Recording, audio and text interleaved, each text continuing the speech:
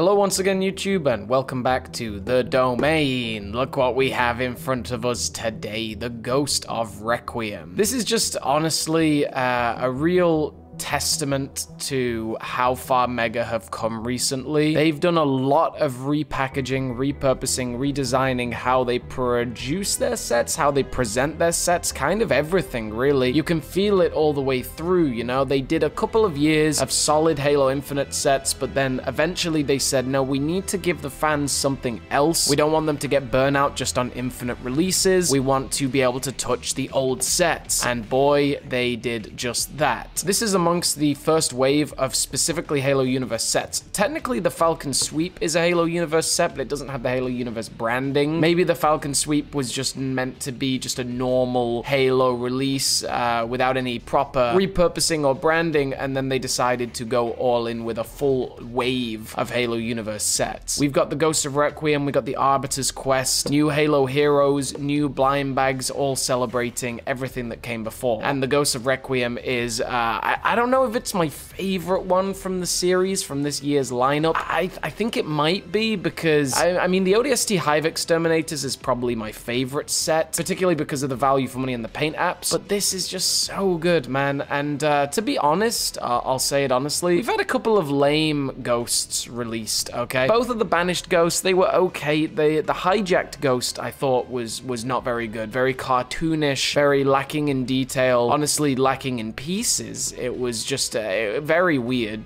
design to me. But the Banished Ghost before that was pretty good. But we haven't had a proper Covenant Ghost in so long. And this is kind of Storm Covenant. And you can tell that by the, I think, the slightly different metallic purple. It's not your traditional Covenant purple. Then again, it is the same kind of purple that we have with the Arbiter's Quest. So maybe that's just the direction they're moving in with their color choices. Gek'lahar is an interesting one. And this figure has actually proven me wrong. It's way better than I thought it would be. The Grunt is just a grunt for grunt's sake, and these two Marines are phenomenal. Halo 4, Halo 5 Marines are kind of my favorite, low-key. They're just a really awesome military design. There's so much to talk about with this Ghost, so much to talk about with these figures as well. Here we are, the Ghost of Requiem. So we're gonna start this with, yeah, the throwaway, the grunt. I have said this in uh, previous videos, the uh, paint apps on grunts have kind of ground to a halt. They've stopped putting uh, even any kind of paint apps on the face or on the mask. Usually usually there would be, say, like a silver paint app on this uh, methane tank filter thing, pipe,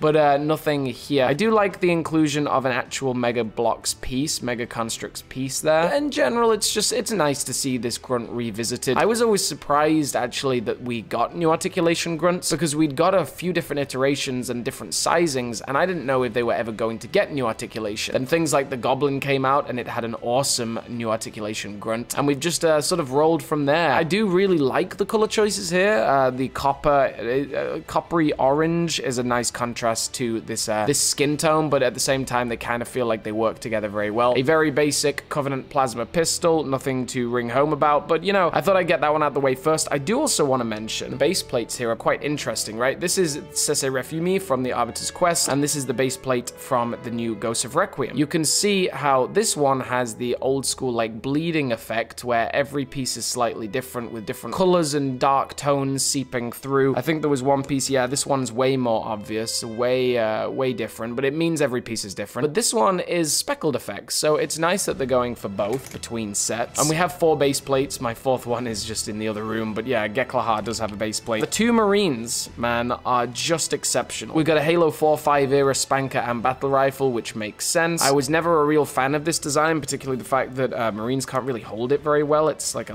little clunky, I don't know. But the weapons are the afterthought here. I'm more interested in these Marines. And they have a lot of detail, man. Mega could have easily just gone for the exact same design, but both of these chests are very different. And this one has a different leg attachment to his armor pieces. And talk about the color choices. I love the green undersuit. I love these, uh, these dark sort of uh, jungle colors versus the sort of desert approach. They're amazing. It's also nice to see that these Marines come with backpacks because a lot of the time Marines actually don't nowadays. But man, I just love this color choice. I honestly think it's exceptional. Nice to see two different skin tones and the removable helmets. The helmets can be a little tight, especially on the nose, but I mean, that doesn't matter. And we can see, yeah, the nose definitely catches the helmet. Oh no, I decapitated him. Ah, oh, my poor Marine. I'm so sorry, brother. We've seen these basic heads many times before in a lot of different sets. It is a shame that now all Marines do have a hole uh, because I don't want all of my Marines helmeted. But then again, uh, the same goes for Gek-'Lhar. I would not have included a helmet with Gek-'Lhar and I would have filled in that hole, but that's just up to me. That's my personal preference. They are also gloved Marines and, and just really the paint apps are surprisingly good, right? We've got this nice silver on the chest, perfectly matches his other pieces of his armor. And then these little black highlights on this chest, while not the most detail, not the most paint apps, they still work. Also the additional paint apps of the eyebrows and the eyes are very nice. These are two of my all-time favorite Marines. The way these leg straps wrap around look very natural. The fact that this one is fully armored gives me more of like a heavy weapons specialist feel, which makes sense if you give him the rocket launcher. And this one more of a standard military serviceman's role with the battle rifle.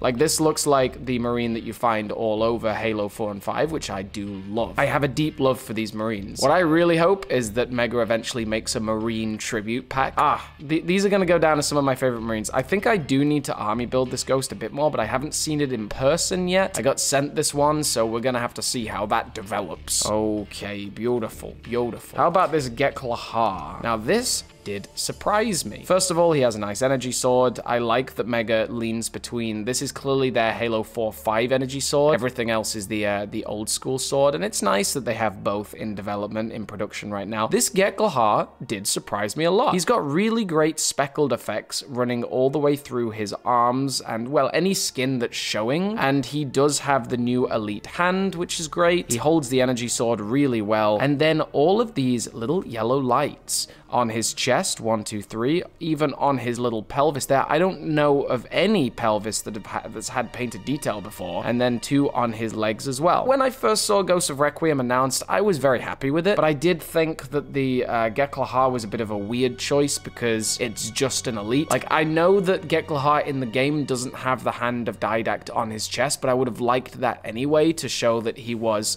you know, part of the hand of Didact and Jul Mdama's second-hand man. But I still love this and I do think that Mega uh, went out of their way to make this a special figure, make something that is not just a copy and paste Halo 4 5 Elite, because that's what a lot of people thought. They were like, are you, you're just putting a Halo 4 Elite in there and calling it Gek-'Lhar. No, it is legitimately, it has a lot of paint apps, and it stands out from the crowd. It does feel like its own official figure, so I'm very happy about that. That one did surprise me a lot. This is also a continuation of a set design that Mega's been doing for quite a while, which includes one small vehicle vehicle and four figures. We've had the Recon Getaway, the Hijack Ghost, the Gungoose Gambit, and now this. And this one, gotta say, it's the best because of this ghost. Would you just take a second to look at this? Just appreciate it, soak it in. It is gorgeous. Like, it is absolutely gorgeous. And my camera can barely even pick it up because it's such a minute detail. But there are some gorgeous, tiny little hexagonal prints. Like, it's sort of like a honeycomb. And again, it's really hard to see. You can just about see it running all the way here. It's like, what kind of level of detail is that? I saw that, you know, when the Ghost was originally announced. I thought it looked great. I didn't realize it was also on all three of these pieces and all three of these pieces. Such high quality, man. Like, that is a fine detail of printing that I've never seen on a, a, building brick of any sort. We do technically have the same piece that we had for the Hijack Ghost here. The only reason that's a shame is because it's still got this hole that was used for that ghost. So I would have rather that was sealed up, but that is a minor, minor discrepancy. We have these lovely Covenant-esque symbols on the sides, and then a gorgeous printed display there. I absolutely love this. A really interesting interesting design choice is using a piece of a UNSC turret as the foothold. But you know what? It works really well. It's such a bizarre choice having a UNSC turret reimagined into this, but it works. And then we got to talk about these lightning pieces. Oh my goodness, these lightning pieces. What a smart move.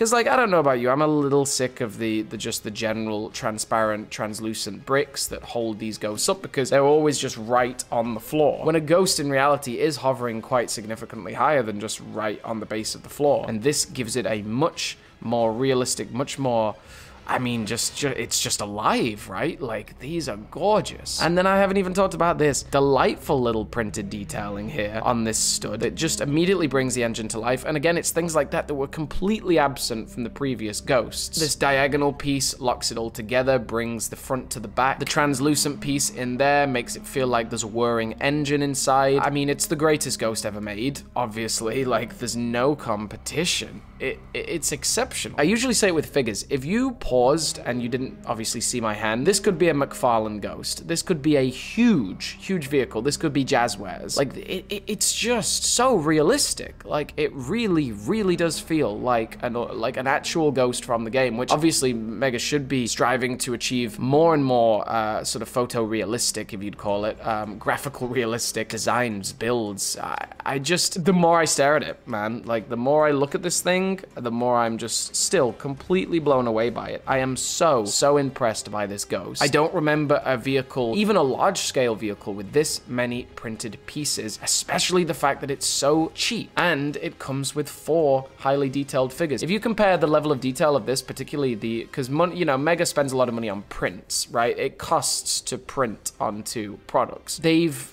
just not only, like, if you compare this to, say, like the Recon Getaway or the Gungoose Gambit or the Hijack Ghost, no way near the same level of detail. No way near, particularly for the vehicle. There have been some really great figures in those other sets, though I do think this Gek-'Lhar uh, stands out, particularly for its tiny little paint apps and speckled skin, and these two Marines being such fantastic color choices. One of my favorite sets of all time, guys, like absolutely exquisite. Doesn't come with an alt build and barely comes with any spare pieces, but honestly, that's probably because the budget went on the printing and the figure design, and I am so for that. Ladies and gentlemen, it is a wonderful time to be an MCX collector, and particularly for your Marines. We got the Marine from Halo 3's redesign coming in the Elephant Sand Trap. We've got the Halo 2 Marines design that came in the Universe Series 1 blind bags. We got these gorgeous ones. Now we need another Chips Dubbo, because he only came in one blind bag series, and I need more of that guy. So thank you very much for tuning in today. This was another video with the domain. If you want to check out an even more detailed review, please do head over to Demarcation Media. He always has a very highly detailed review of his products. I give this a glowing 10 out of 10. There are a couple of mild things I would have changed, like an extra paint app on that grunt and the removal of this hole, but I mean, they're so small in the grand scheme of how epic this set is, and I hope I did uh, put that across. Let me know in the comments down below if you've managed to bag this set yet and which figure you're excited for the most. And also, new packaging who dis. Like, this is so nice. I love the, the just the boldness of this big mega. You can see this from a mile away. You know exactly what you're buying. It's very clear, very crisp, nice color choices. I love the new packaging design. So shout out to you all, your whoa, whoa, whoa, my uh, speech went a little bit there.